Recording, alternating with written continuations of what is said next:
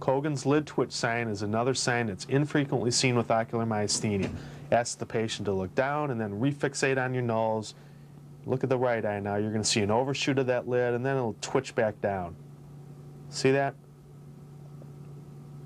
You don't see that very often in ocular myasthenia, but in a patient with ptosis, it's worth performing this exam to see if you can elicit it.